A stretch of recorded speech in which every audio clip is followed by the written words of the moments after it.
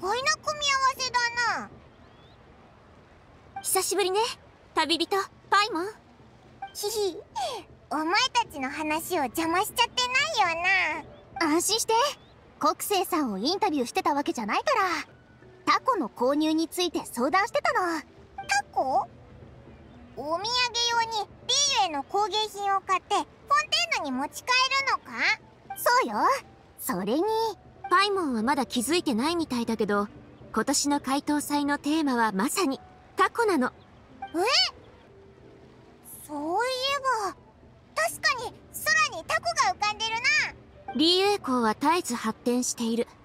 だから回答祭も古いものばかりにとらわれず新しい流れも組むべきだと思ったの。私たち七星はリーユへの伝統を継承しつつも他国の技術も参考にしてみようと考えたわ多山の石持って玉を収むべしってわけね。私が前回リーユエ港に来た時天地園の行幸さんから協力について話があるって言われたのを覚えてるかしら。それがこの件だったってわけ。まあ共同事業を推し進めるって言っても私はただ自分の人脈を使って行幸さんに何人か面白い人を推薦しただけよ。話し合いをもとに最終的に選んだ案がリーユへの伝統工芸品であるタコとフォンテーヌのマシナリー式フローティング装置を組み合わせるというものだったわ。マシナリー式装置？な、なんだかすごそうだな。でもタコって風の力を借りれば飛べるもんだろ？なんでマシナリーに頼るんだよ。答えはその質問の中にあるわパイモンタコがどれだけ高く遠くへ飛べるかは糸を持った人の技術だけでなくその日の天候にも左右されるでしょ？風のない日だとどれだけ経験がある人でも水の中のスイートグッピーのようにやきもきするしかない。その通り。リーユエがこうして人が治める国になったんだもの。だから自分たちで工夫してタコを飛ばせるようになろうと思ったのそれに気軽に遊べて楽しいものであればあるほど大勢の人が参加してくれるはずだわ。でしょ？私もこのアイデアは目の付けどころがいいと思ったわ。しかもコストだってそうかからない。シャルロットさんのおかげで共同作業も順調に進んで新型のマシナリー式タコも港の屋台で販売されるようになったわ。今のところ供給は十分足りていそうね価格設定については私たちも試行錯誤して伝統的なタコと比べてもさほど高くないものになっているの。おおいいな。国生もシャルロットもそれから行幸も。オイラと同じでおもちゃが好きだったんだな。おもちゃね。そう。ほらね国生さん。みんな第一印象はこんな感じなのよ。ええ。確かにタコは長い歴史を持っているとはいえ特殊な儀礼で使うことを除き多くの人が民間のおもちゃだと認識しているのは否めないわ。でも私にとってタコはそれだけではないの。みんなはあまり想像できないかもしれないけど軽い上に薄くてたった一本の糸で空高く飛べる紙のタコというのは同時にリーユへの古今の魅力を乗せた宝でもあるの。古い詩集でこんなものを読んだことがあるわ。支援に託せし言葉。旅の者へ送らん。天外より未だ帰らざる人あり。昔のリーユへの詩人はよくタコで思いを表現したり田園風景を読んだりしていたのよ。もし今の私たちがこういった遊びから趣を汲み取ることができればきっとこの先もより多くの人が伝統の美を感じ取って伝承していきたいと思ってくれるはずだわ。さすが国生だな。オイラよりも考えが何歩先も行ってるぞ。物知りなのね。私も勉強になったわ。こういう話を気に入ってくれるなんて私も嬉しいわ。タコにまつわる民話ならいろいろ知っているわよ例えばタコが思いがけず飛んでいってしまったら仙人が風で持っていったってみんな言うの。これは不運を吉兆として捉える一種の言い方ね。へえ他にも面白い話ってあるのか？面白い。そうね。あじゃあタコの制作に関することはどうかしら？これもある種の貴重な伝統工芸なの祖父がまだ子供だった頃タコの作り方は年長者たちから少しずつ教わっていたと聞くわ。細い竹で骨組みを作り紙に好きな絵を描いて貼り付け糸を結ぶ。そして空を見上げてその手でタコを雲のそばまで届けるの。タコに名前や願い事を書いて最後に糸を切って自由に飛ばす人もいれば素敵な願いをタコの絵柄に込めてる人もいるわ。その絵柄と願いにはどんな関係があるの？ぜひメモしておきたいわ。そうね。例えば蝶の模様をあしらったタコは束縛を破り自由や幸福を追い求めることと関係している場合が多いわ。へえ他にもあるのかしら。ツバメ飛びは一番伝統的なもので幸運や吉報を意味しているわね。色によっても細かな違いがあるわ。リーユエではこういった意味が自然と人々に定着していったのかしら。フォンテーヌの花言葉みたいに。ええそうでしょうね。両親や祖父母に聞けばいくつか知っているって人も多いはずよ。もし興味があるのならこういった題材を扱った書物を家で探してみるわね。見つけたら貸してあげるからぜひ参考にしてみて。ありがとう。すごく助かるわ。よーし。リアルで生き生きとした記事構成もバッチシ思いついたわ。さてオイラたちもいろいろ見て回ろうと思ってたしそろそろ行くか。ええじゃあ私はシャルロットさんを家に連れて行ってついでに少し休憩することにするわ。そうだ今年は総務士がタコ揚げの大会を開催する予定なの。日時は解答祭当日の夜よ。旅人とパイモンももし興味があったらぜひタコを持って参加してみてちょうだい。ルールは簡単よ。制限時間内にタコを一番遠く高くまで飛ばせた人が勝ち。その人には特別な栄誉が与えられるわ。私はその夜のためにフィルムをたくさん用意したわ。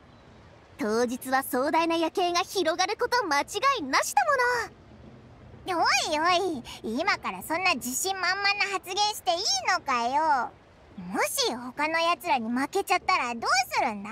むしろここは自信なさげなふりをしてだな。みんなの意表をついて報酬をゲットしようぜ。じゃあ2人の活躍を期待しているわまた大会当日に会おうな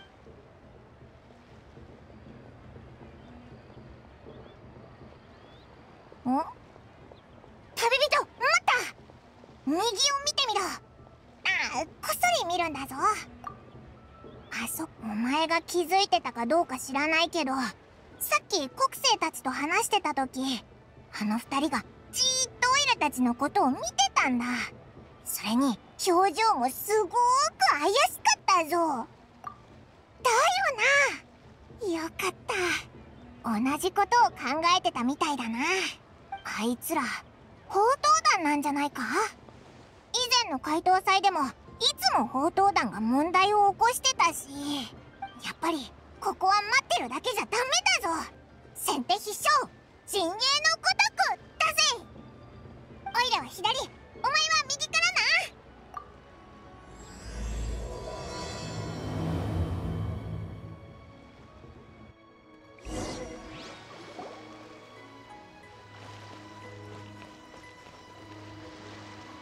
ふむ我らを捕らえようとするその気迫。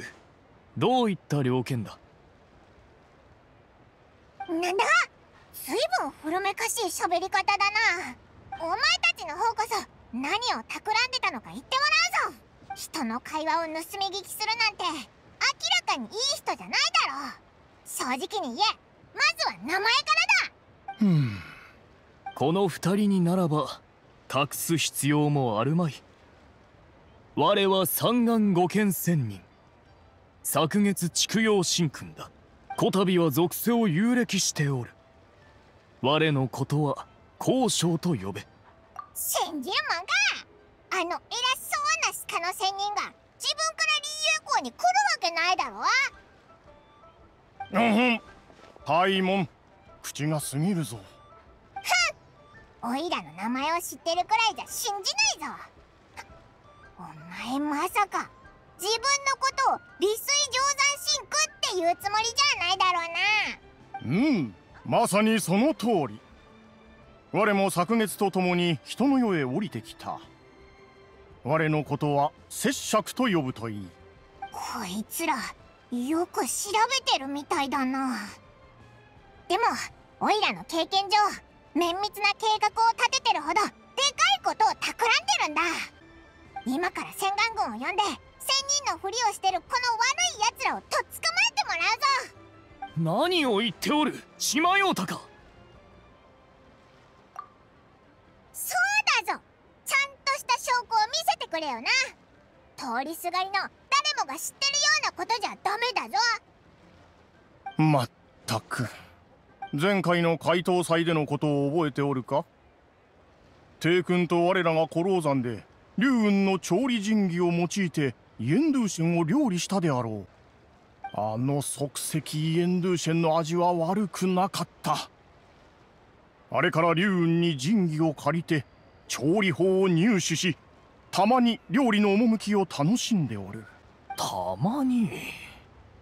前回我が山を訪れた時その姿を見るや否や神器を背後の琥珀に隠しておったではないか。それを昨月め先ほどお前をかばったというのに恩をあだで返すというのか。そもそもこの二人が信じないのが悪い。であっても山でのことを漏らす必要なかろう。まったく龍雲のようなことをしよって、はあ、まあいい。お前と争うのはやめだ。そこまで話してくれたらさすがに分かったぞ。おいらの誤解だったみたいだな。悪かったぞ。でも仙人なら器も大きいよな。サンガを飲み込めるくらい。ふん。お前は前々から基地に富んだものであったな龍雲がお前を高く評価したのもうなずける一つ聞いていいかその利水定山はまだしも昨月地区よお前はどうして町まで降りてきたんだずっと対面を気にしてただろふんはあ仕方なくだ龍雲がリーユエ港へ行ってから山は日々静けさに包まれるようになった。怪盗祭も近づき我らは龍雲が今年の予定を事前に説明するものだと思っておったのだが今日に至るまでその影を全く見せておらん。龍雲は物事を忘れるようなものではない。俗に言う山動かずとも水は動けるというものだ。友が皆リーユエ港にいる今我ら二人も人の姿に化けるしかあるまい。だが先ほどお前らがそのマシナリー式タコとやらの話をしているのを耳にし現状を大まかに把握した。そこでいろいろと思うことがあってな。龍雲を探しに行かないのか？うん。パイモンが知らぬのも無理はない。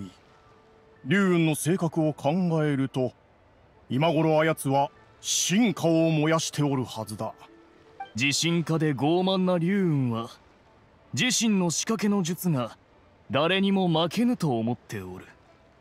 舶来の装置などもってのほかだ。今頃は戸を閉ざして放客を拒み花田錦の改造に勤しんでおるだろう。故に我らはいらぬ邪魔をしないでおこうと思ってなもし数日のうちに龍雲に会うことがあれば我らの代わりに挨拶を頼む。そっか。わかったぞ。じゃあ二人とも気をつけて帰れよ。ゆっくり景色を楽しんで少しでも解凍祭を楽しんでってくれよな。うむ。気持ちはしかと受け取った。これ以上の見送りは不要だまさかオイラの早とちりだったなんてな。あれこれ心配したのに結局知り合いだったぞ。おそうだ。遅くならないうちにタコの屋台を覗いてみようぜ。おっきくて綺麗なタコがあるといいな。大会で披露するためにな。いらっしゃいませ。タコのご購入でしょうか。ご希望でしたらそれぞれの絵柄について簡単にご紹介しますよ。ツバメ飛びに蝶々。おこれって。ああこちらの軍玉閣のタコは最新のものですね。ここ最近よく売れていますよ。もしかしてこれにも何か意味があるのか？もちろんです。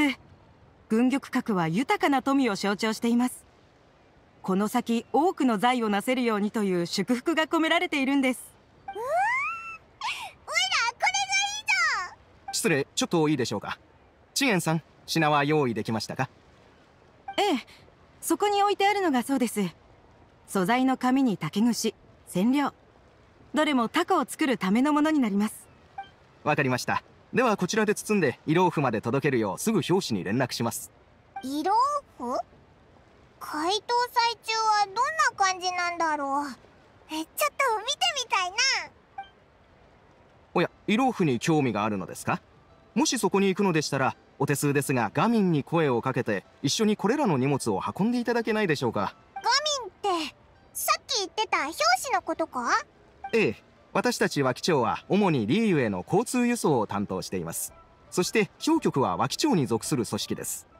ただ一つ問題がありまして解凍祭の期間中は多くの同僚が休暇を取って家に帰り家族と共に過ごします。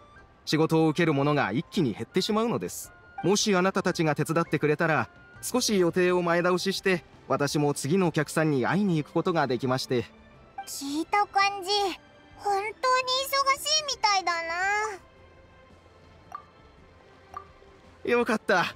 もちろん報酬は十分にお出ししますので。この時間だと画面はおそらく近くにいるはずです。この大通りに沿ってまっすぐ進むと右手側に重武撃で使う道具が置いてあるのでその辺りにいるでしょタコを買うのであればまた後でいらしてください。お二人には割引しますので。おいおい負けた方がザオ茶をおごるって約束したとはいえそこまでへこむことないだろ。元気出せって。別に俺が払ってもいいから。それじゃあいつもと同じじゃないかさすがにそれは良くないガミ。俺は何も負けを認めてないわけじゃない。ただあんな方法で逆転されるとは思ってなくてだな。あんなの大したことじゃないさ。造作もないことだ。レタスを食べるのと同じくらいな。およかった。ガミンがいたぞ。ちょっと邪魔するぜ。お前がガミンだよな。さっき脇町の人が来てーフに荷物を届けるのを頼みたいって言ってたぞ。おおお老州の兄ちゃんか。仕事があるみたいだな。じゃお先に失礼すんぜ。そうか。行ってこい。帰ってきて時間があったらまた遊ぼうぜ。次は絶対負けないからな。さ荷物を受け取ろう。持ってくるとき重くなかった？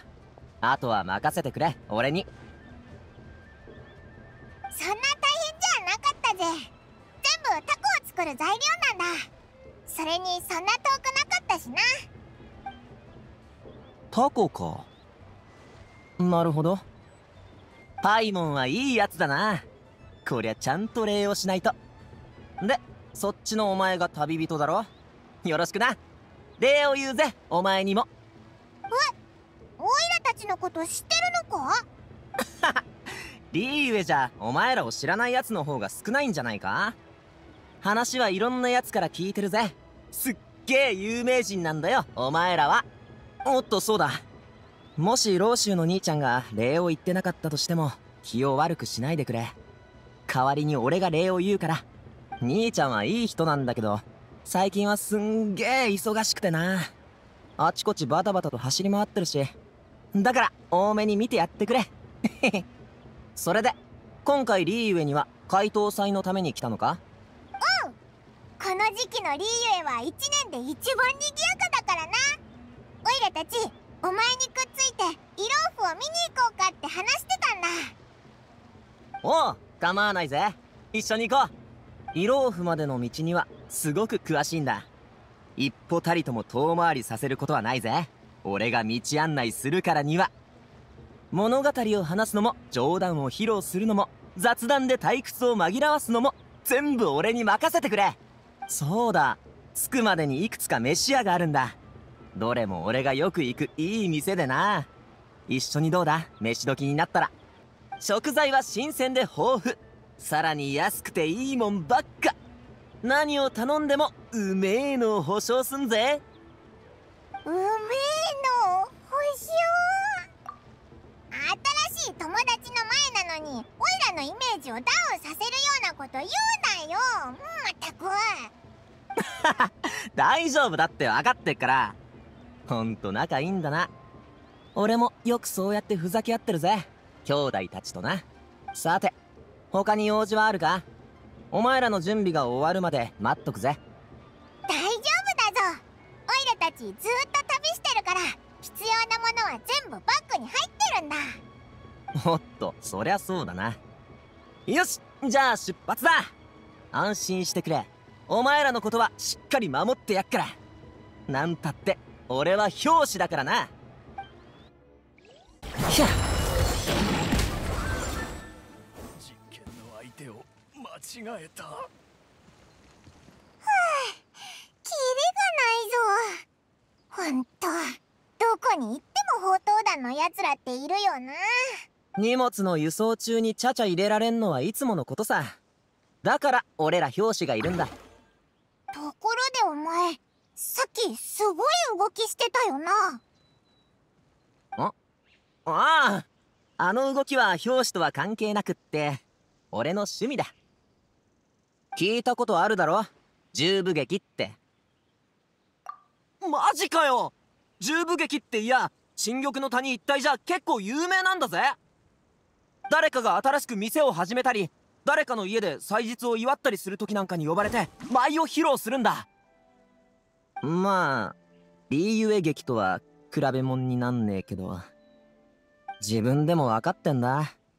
リーユエ校で十部劇を見たいって人はあまりいないってな。だからせいぜい副業程度にしかならない。え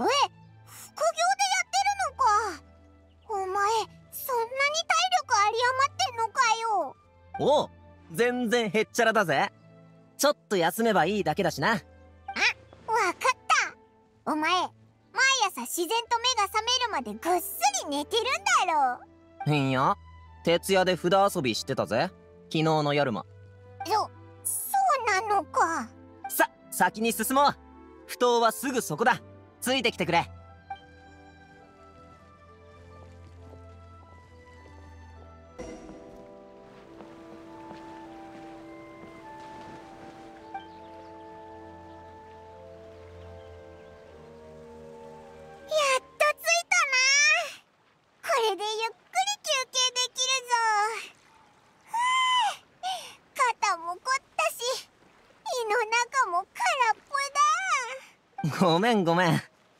と急ぎすぎたか？でもずっと外を旅してたって言ってたろ？リーユエは参道が多すぎて飛ぶのが疲れるんだぞ。はあせっかくお腹いっぱい食べたのにまたペコペコだぜ。ならどんどん数でも食うか？店で買ったやつだけどな。俺が作ったんじゃなくて。食べる！持ってるやつ全部！おいおい食いしん坊すぎやしないか？お腹いっぱいになったら飯が入らなくなるぜ。オイラは生まれつきたくさん食べるんだ。ほらお前が生まれつき体力いっぱいでどれだけ歩いてもどんだけ仕事しても疲れないのと同じようにな。なるほどな。ほれパイモン。あと旅人の分も。白草おじちゃんもお疲れ様っす。横に置いとくぜおじちゃんの分も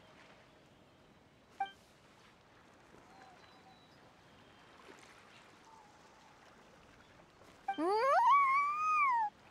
うまかったぞ。おいら復活だぜ。大げさだな。どんどん数は子供の頃から食べてるんだ。道端にある屋台から町の大きな飯屋までいろんなとこで作られてるけどどこも少しずつ味が違う。気に入ったんならその店の住所を調べて教えてやるよ。帰った後にな。おっと。俺としたことがおしゃべりしすぎたか？静かに景色を見るのを邪魔してないよな？もしうるさかったら言ってくれよ。俺なら大丈夫だからな。気にせず率直にな。大丈夫だぞ。お前って喋りのテンポが良くて賑やかだし話してて面白いからな。お腹いっぱいになったから機嫌がいい。とかじゃないよな。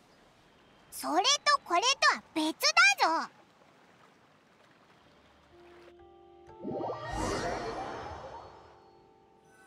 ぱり若竹が必要だな。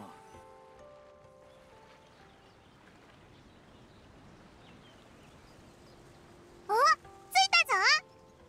荷物を忘れるなよ。それと降りるときは足元に気をつけてくれ。踏み外したら水の中にドボンだからな。白草おじちゃんありがとな。体に気をつけてくれよ。じゃまたな。さついてきてくれ。あっちから行くのが近いんだ。氷局は上にあってリフトで上がる必要がある。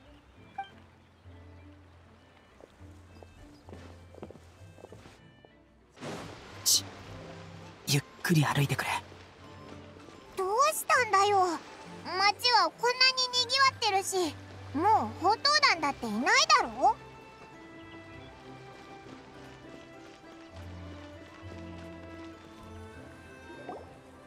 えっとそれはなんつうか。なんだよ。はっきり言えよ。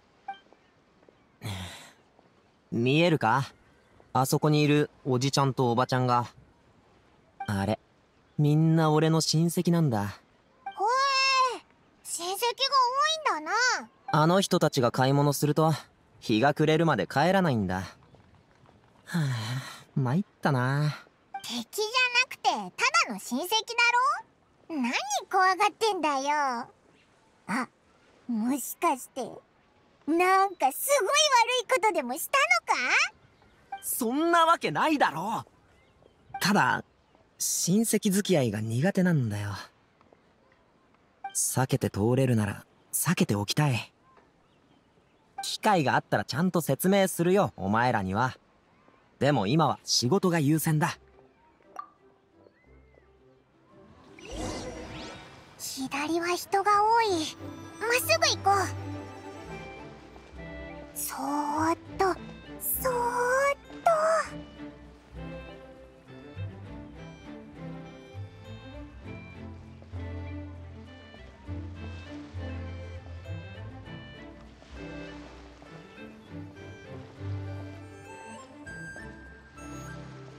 お客さん助っ人はいりませんか？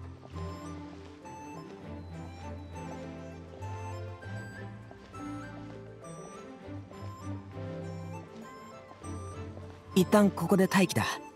おばちゃんが離れないか様子を見よう。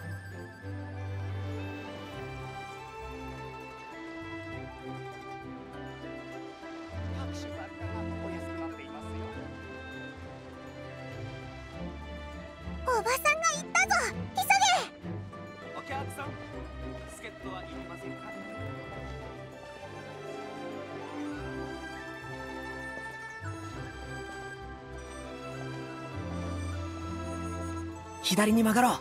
走れ。右へ。いや。日々しっかりと鍛錬しているからこそ力強い拳をマジパネさすがだなお前ら。これくらい楽勝だぞ。どんどん数を23口でペロッといくみたいにな。なんだそんなに気に入ったのか？じゃあドンロン数を小さな山になるくらい買ってその中に埋めてやるよ。ひひ。そん時はオイラの頭を外に出しておいてくれな。よ地球おじちゃん。荷物を持ってきたぜ。こっちの二人は旅人とパイモン。一緒にここまで運んでくれたダチだ。んじゃ荷物は A さんおじちゃんのとこに置いてくるな。ああご苦労だったな。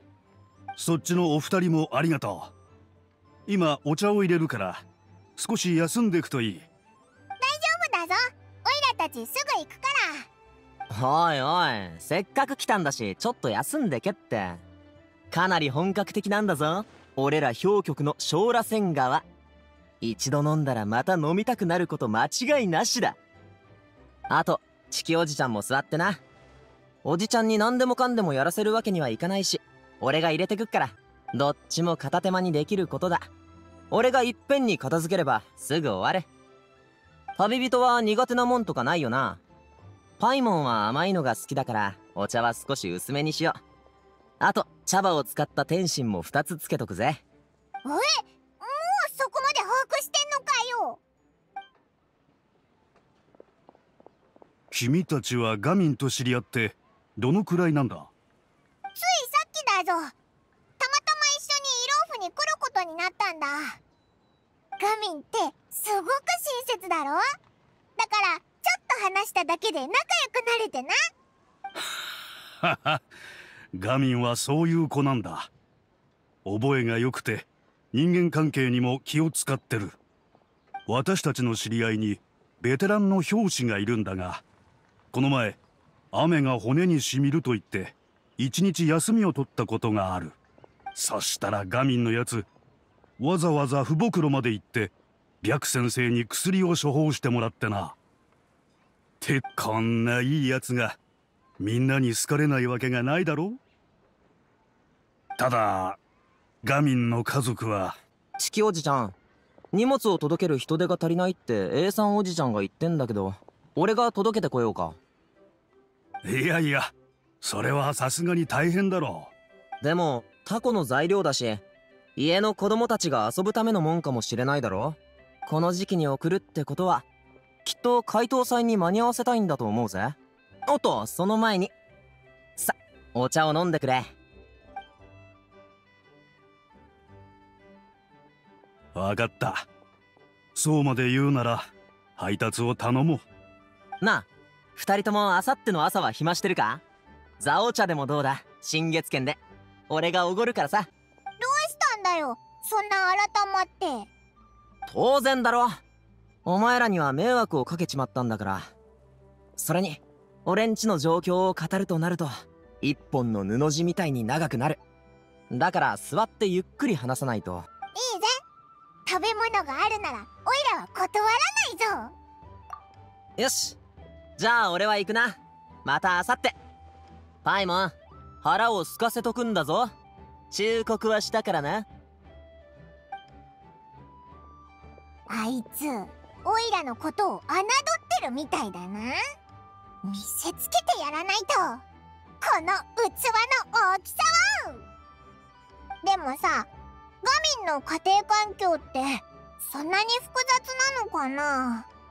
ガミンって人当たりが良くて行動力も高いしそれに仕事だって丁寧だろ？何か衝突があるとは思えないけど。ああなんというか。いやあの子が自分から話すつもりのようだしおじさんは口出ししないでおこう。君たちは年齢も近そうだ。共通の話題も多いだろう。もしよかったら私の代わりに助言してやってほしい。頼おじさん時間があったらオイラたちにちっちゃい旗を作ってくれてもいいぞ。いた旗をな。趣味人助け。ってなら作るよう頼んでおこう。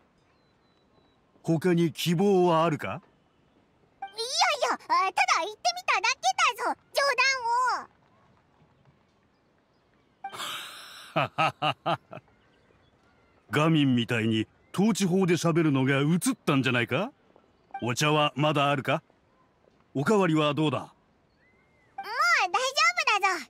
せっかくここに来たんだしオイラたちふ頭の方を見に行ってくるぜ。さっき親戚たちを避けてる時に路上にたくさん屋台があるのをちらっと見たんだ。ビールエコーにないタコがあるかもしれないぞ。ああ。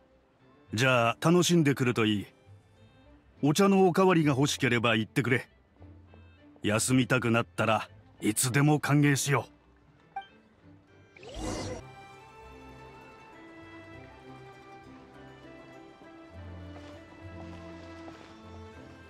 う。わあなんでお前がここに？その言い方まるでわらわと会いたくなかったと言っておるようだが。ふむこやつを手本にするといい。これこそが年長者を敬う時のふさわしい態度だ。なんか年寄り風を吹かしてきたな。タコ揚げ大会のことを聞いて引きこもりながらあれこれ叩いて仕掛けの研究をしてるんじゃないのか？どうしてこんな遠くまで来てるんだよ。しかもそんなに大きな箱まで持って。お買い物してたのか？だったらなんだ？七星がフォンテーヌの技術を導入してタコ揚げの大会をやることとわらわに何の関係がある？お前たちの目にはわらわがそういう属性の勝負事に対して腹を立てるようなやつに映っておるのか？いやオイラじゃなくてリスイと昨月が言ってたんだ。あいつら自分に言いにくい名前までつけてたぞ。全く覚えてないけど。とにかくあの二人が町に来てお前を探してたぞ。会ったらよろしく伝えるよう頼まれたんだ。あ。カオン。リーユエ港に来てからというもの時が経つのが早くなったせいかすっかりあの老骨二人のことを忘れておった詫びとして戦争でも持っていくか。いやこうしてイローフに来たのだから茶葉がいいだろう。休養を思い出した。他に買わなければならないものがあったようだ。お前たちはここでしばらく待っておれ。すぐに戻ってくる。え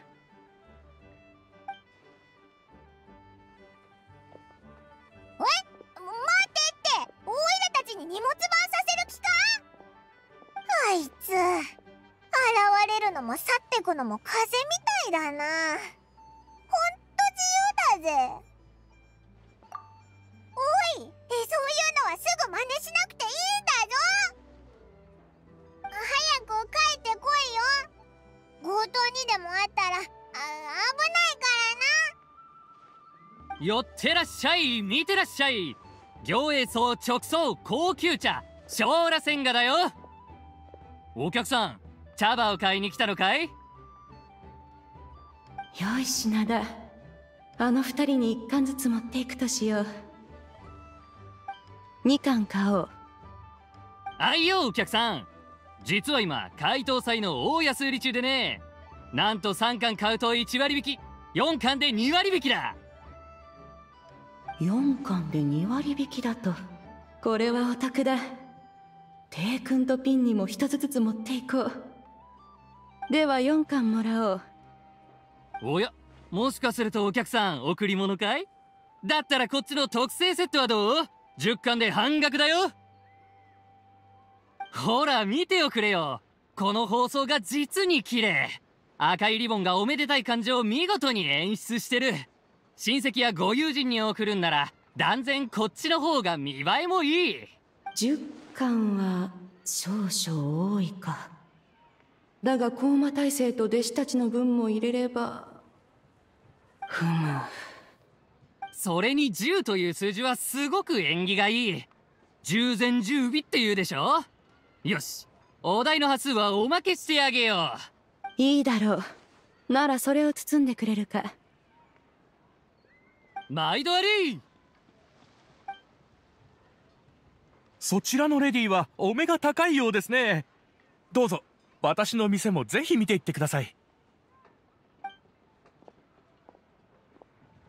私はフォンテーヌのおもちゃ商人でしてね。ここで売っているおもちゃは全てクロックワークマシナリーで動いているんです。小型で成功そしてすごく面白いものばかり。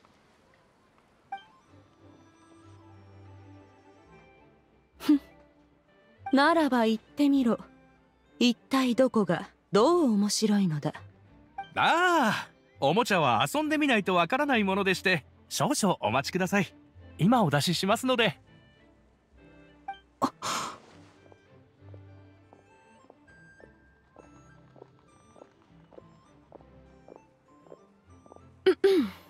結構だ。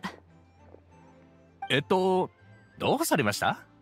最新で最上位のものを一つしっかり包んでくれ。ああはいわかりました。さあどうぞ。説明書はですね。いや結構だ。礼を言う。ここは人が多い。わらわが若者のからくりおもちゃのために足を止めているところを他の者に見られてはメンツが立たん。こっそり持ち帰って研究するとしよう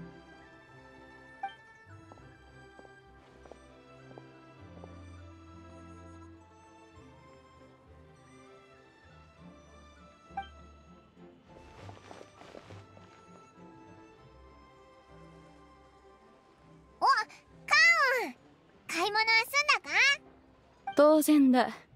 わらわは人との付き合いを好まぬだけでできぬわけではない。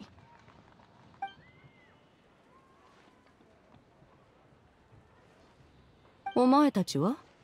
買い物をしに来たのではないのか？まだできてないんだ。でも見た感じイローフにタコの屋台はなさそうだな。むしろフォンテーヌから来たものが多いぞ。まさかお前たちもあのタコ揚げ大会に参加するつもりか？つまりその子供たちは皆参加したがっているということだ。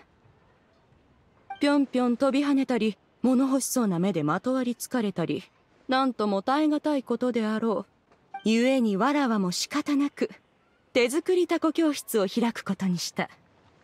わらは自らタコの作り方を教えるのだ。おお誰が参加するんだ。双玉神格関ヨーヨだ。おおたくさん来るんだな。大会に参加するだけなら既製品のタコを買えばいいのに。カウンお前いいやつだな。何がマシナリー式フローティング装置だ。あんなもの。人間たちが作った粗末な装置に過ぎぬわらわはかれこれ千年以上仕掛けの術を研究してきた。戦力を原動力としている点は置いておくとしてその中身に着目すると素材は竹のような軽さと鉄のような硬さを持っており空に放てば風の力で千里先まで飛ぶ。その構造は六血十二道をめぐり まあよい。お前たちに話しても理解できぬだろう。話すだけ無駄であったな。ぺちゃくちゃ喋ってたくせに。ずーっと我慢してたんだろうな。でお前たちは参加するのか？おうずーっとオイラたちのことを教室に誘ってくれてたのか？よかろう。材料を用意する必要はない。わらわが全て揃えておく。ではあさっての午後奥蔵さんで待っておるぞこんな大きな木箱少子を雇わなくて大丈夫かよ。少子わらわにかかれば移動など自由自在。他人の手を頼る必要などない。え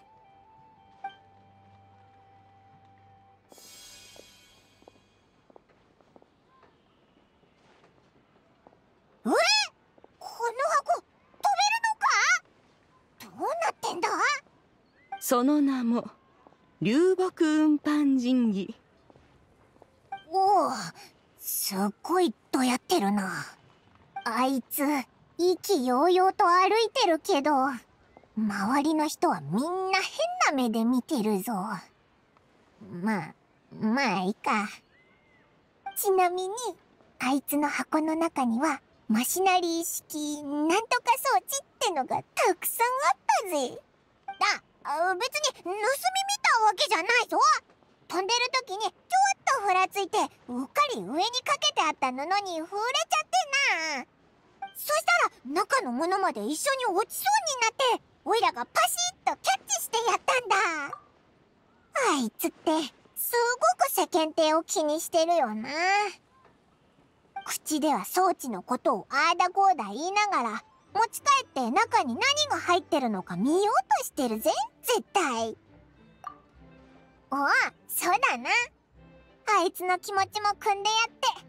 オイラたちは知らないふりをしておこうぜ。これが年長者を敬う時のふさわしい態度ってやつだろ。